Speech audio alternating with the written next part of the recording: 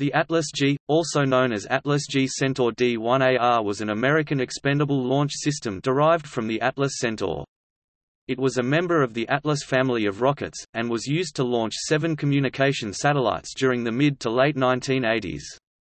Atlas G consisted of an improved Atlas core with modernized avionics and stretched propellant tanks. The Centaur stage also had several updated components and other technical improvements. It was replaced by the Atlas I, which had an improved guidance system. The maiden voyage of Atlas G was the launch of Intelsat 5 on June 9, 1984. Atlas performance was normal as was Centaur orbital injection, but during the coasting phase prior to the second Centaur burn, the stage's LOX tank split open.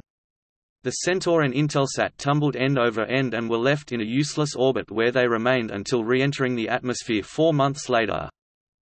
Investigation into the failure found that a minor fatigue crack developed in the Centaur LOX tank during staging and orbital injection, which eventually led to complete tank failure and loss of the mission. The uprated Centaur flown on Atlas G, among other changes, deleted the propellant boost pumps in the interest of greater simplicity and weight saving. To compensate for this, LOX tank pressure was increased 25%. Although the tank had been designed to accommodate higher pressure, technicians at Convair inexplicably failed to test Centaur 5402 for leaks before shipping it to Cape Canaveral. In addition, engineers had not tested the Centaur G stages to verify if they could handle the shock from the explosive bolts on the booster firing during staging, but this test was performed later and the stage passed it. Finally, the leak testing program and tools used at Convair were outdated and less reliable than newer methods and the tech personnel in charge of fabricating the Centaur's balloon tanks were badly inexperienced.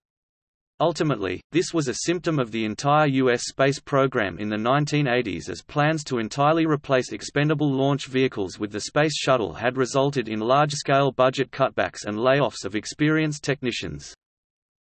Six more Atlas G, Centaur launches took place through 1989. These were Intelsat 5AF-10, March 22, 1985 Intelsat 5AF-11, June 30, 1985 Intelsat 5AF-12, September 28, 1985 FLTSATCOM-7, December 5, 1986 FLTSATCOM-6, March 26, 1987 launch failed after the booster was struck by lightning. FLTSATCOM-8, September 25, 1989 The first stage was derived from the SM-65 Atlas missile, and a Centaur was used as the second stage. The first stage was also flown without the Centaur, as the Atlas H.